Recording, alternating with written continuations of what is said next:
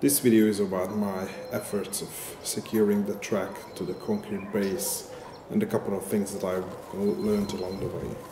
I can understand why so many people you use wood or any other soft material as a track base. It must be easier to work with and easier to make it precise. I couldn't rely on the traditional track laying methods and I had to think outside the box. I knew that drilling into concrete is not easy. Not actually the drilling which is the problem, but making it precise. The drill bit always moves around as soon as I turn the drill on, and I usually end up making a hole somewhere within a 5mm circle where it should be. Screwing the sleepers directly into the concrete wasn't an option, because I just couldn't guarantee that it's going to be in the place where I want it. So I needed some sort of proxy. And this proxy is basically a piece of metal. I drill a hole next to the track, the screw goes into the hole, which pushes this metal bar down, which then presses the track against the concrete. I'm using Peco FlexiTrack, which has a piece of plastic strip in between the sleepers. The metal uh, bar goes into the gap between the rail and the plastic strip. Finding a metal bar wasn't easy. I ended up in a store which is selling cabinet and uh, kitchen supplies. It had to be narrow enough to fit in between the sleepers and still leave some space spared but in the same time strong enough to fulfill its function. I found an L-shaped bracket about 4 centimeters long, 8 millimeters wide. It was probably designed to hold shelves or something similar. One side of the L was long with two holes and the perpendicular end is a short one which I just break off because it was in the way and I didn't need it that. So this is the bracket I'm using to fasten the rails. It's sort of like an L-shaped metal. Must be galvanized or something. And um, the reason I choose this because it has this um, eye here. So that gives me enough room to, you know, just to adjust a little bit and then also adjust the rails. So um, I don't have to be very precise with the uh, drilling of the holes. The first step is to drill the holes. As you can see, I just drill in between the sleepers, probably about one centimeters away from the track. The dowel goes into the hole and then the metal bar is placed. The setup does tolerate some sort of misalignment of the hole, so um, that works quite well. And because the metal bar is shorter than the uh, space between the sleepers, you know, it can just, you know, sort of move around and find its place, depending on where I manage to drill the hole. Another example. This point out one of the issues. On the far side, uh, chips of concrete broke off around the hole, leaving a large pothole. I had to bend the bracket and it still uh, lift the track instead of holding it down. Some more bending solved the problem and probably it is still not perfect. I'm using this frame to explain what I have learned. Originally I thought having this oval hole at the end of the bracket is going to make a difference, but not really. Since the other end of the track is in between the rails, it doesn't really make a huge difference if it's just a couple of millimeters in or maybe you know six or seven. But what really makes a difference is how much metal or how much of the bar I have on the other side of the screw. For the best result, the bracket should extend beyond the dip which is created by the drill so that when uh, the screw is fastened, it acts as a lever and it pivots around the point which is sufficiently high and it's not, well, it's not in the deep. This ensures that the bracket applies a downward force on the track. Therefore, a simple metal plate of the same size with a single hole around 7 or 10 millimeters from the end would have been sufficient. Here I'm working my way through the turnouts. Nothing scientific. I'm looking at the track, making sure that the straight sections are straight and uh, more or less eyeballing it. I use a small box car to check whether the ride is smooth or not. I drill at strategic places like before and after the turnout and every meter or so on open track.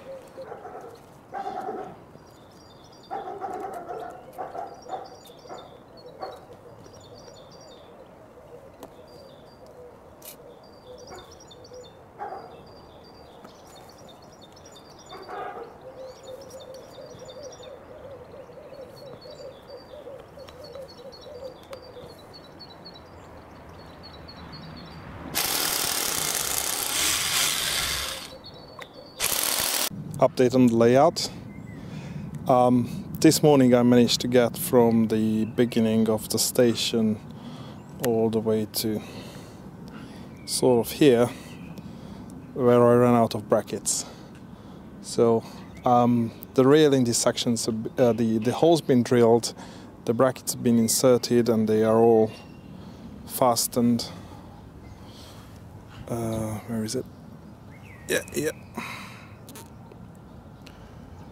So it's holding the rail nice and firm.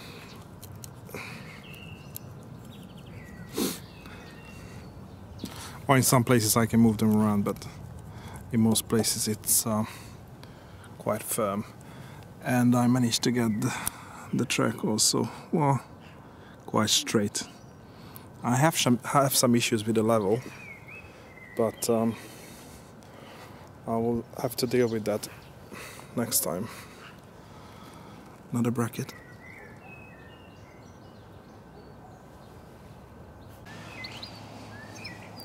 So this is a section I had to do a bit of manual adjustment because um, the track up until here was laid last year and then I started building the um, the station with the turnout and there was this probably one and a half centimeters of gap so I had to um, cut a small section of the rail and it was really just uh, really difficult to fit it in because obviously there was not enough room for um, the for the ray to move and the the point was already fastened so but I managed to do it. And there is not not a lot of gap so uh, the the the train runs smooth. And so talking about level um, I think here. So I managed to pick a spot on the track where it's sort of um, a couple of millimeters below the the other the you know the rest of the rail. So there is a, a bit of a dip here. So I will have to see if it um, makes an issue with um, you know with running the trains. If not it should be good enough for me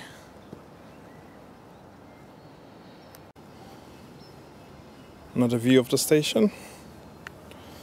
Nice and straight. Trains coming in. Very nice gentle curve. So fourth track, third track. That's the main line. It's a new, well, it's going to be the first track on the left. And all the way to the other end.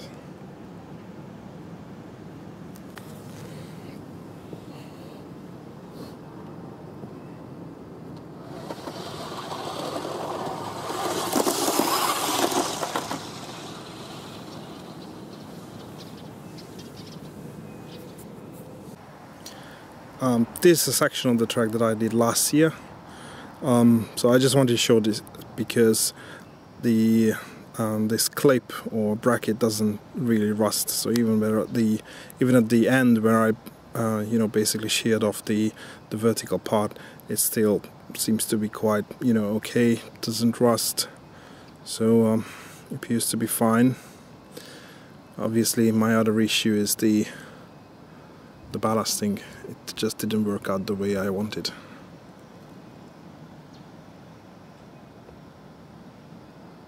So this is my Märklin Maxi engine, all metal construction. Um, it has the same um, LGB type pickups and also there are pickups from the Reyes I think. This is my test engine. Again note that the this track hasn't been cleaned since last year so it's probably quite dirty but probably should be good enough for this small engine. Almost.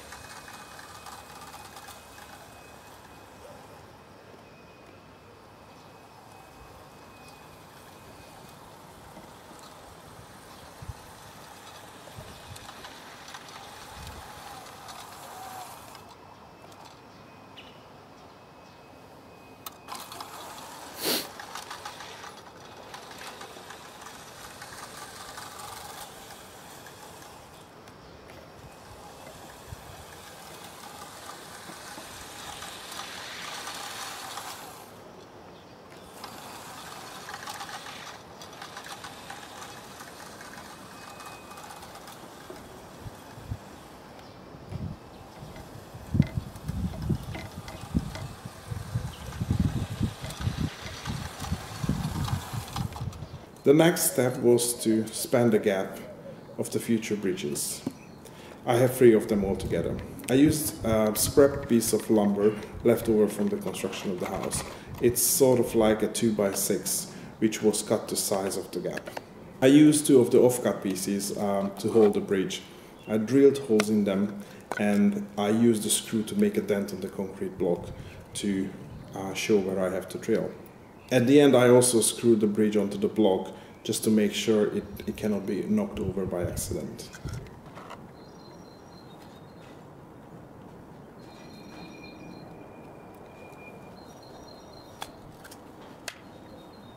I decided not to follow any instructions when laying the track, so I have soldered every single fish plate on the first 50 meters that I have, I have laid. I realized my mistake after reading the instructions on the back of the leaflet which came with the track. Then I decided to ignore my mistake and I kept soldering the fish plate, but only in the curves. So what seems to work for me is that when I start a curve, I bend the track to the right shape and I cut off the excess rail. After I connect the next section with a fish plate, I keep it straight and then I solder the fish plates. By soldering the fish plates, I ensure that the rail doesn't move on the previously laid track, so it keeps the original curve. But it makes it a little bit difficult to bend the new section because I have to bend an entire uh, rail, you know, starting from the solder. Also, I have to be really careful not to solder a kink because there is no going back. The new track has to be tangent to the existing curve. I learned this the hard way. Unfortunately, there are some not so nice transitions in my curves. It is noticeable on a fixed axle stock, but it's not too bad.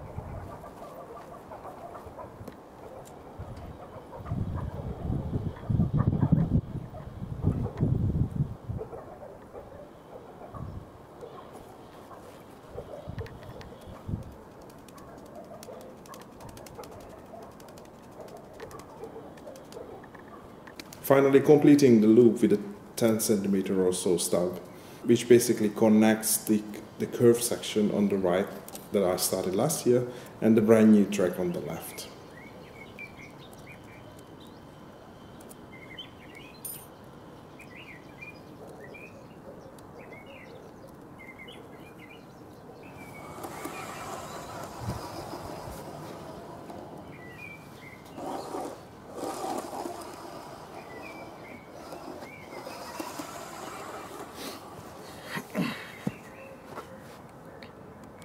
Loop is complete, I needed a small engineering train to test the track before I hook it up to the power supply. So I had a spare Aristo motor block, uh, 12 volt battery, and this is one of these Chinese remotes. So um, it also works from 12 volts so the, uh, the the battery provides 12 volt and then one of the channel actually turns the motor on and I used a piece of uh, steel wire, um, shape it into a sort of loop to go around the coupling of this on the, uh, of this flat car, and that's my engineering train. So I push the button. Hey!